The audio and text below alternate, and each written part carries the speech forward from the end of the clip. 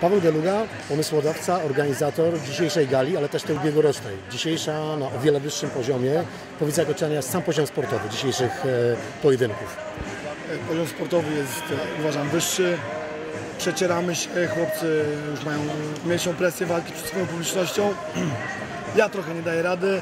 No, szczególnie Twój głos. Mój głos, e, uważam, że gala była na wyższym poziomie sportowym. Udało się walczyć pierwszy raz w historii dla Wyszkowa zawodowe Mistrzostwo Polski.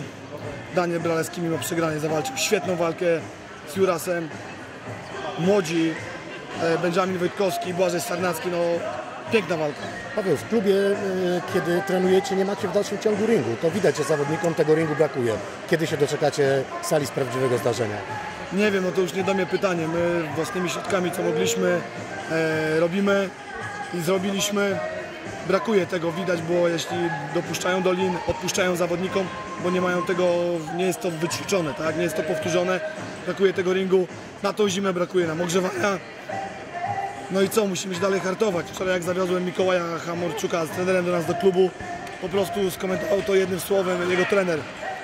E, użył jednego słowa niecenzuralnego, nie powiem, ale powiedział jeszcze szacunek, patrząc na warunki. Daniel, krótki komentarz po Twojej dzisiejszej walce. No uważam, że walka nie była najgorsza. Mogło być lepiej. No przegrałem niestety, okazał się lepszy. I tyle. Dość skromnie.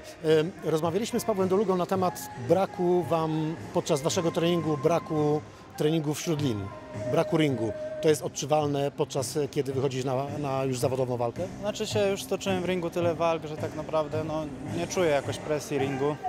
Wiadomo, fajniej by było jakby było więcej treningu w ringu. No, staramy się to uzupełniać w palestrze w Warszawie. No, ale jakoś nie czuję specjalnie zmiany. Mata, ring, bo Przeciwnik był dzisiaj nieco silniejszy. no troszeczkę był. Czym Cię zdominował? Co dla Ciebie było najtrudniejszym elementem? Wydaje mi się, że precyzja bardziej, bardziej precyzyjniejszy. Myślę, że doświadczenie bardziej zagrało i tyle.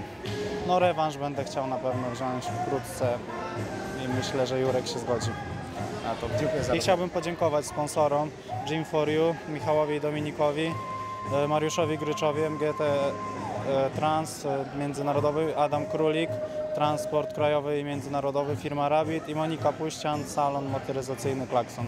Dziękuję bardzo. No i trenerowi Pawłowi za przygotowanie. Pozdrawiam wszystkich. Dziękuję. Piotr Cześniewski-Tryt, nowo upieczony mistrz Polski, ale w ustach pełno krwi. Piotr, dałeś z siebie wszystko.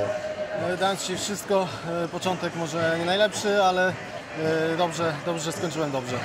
Trudny przeciwnik?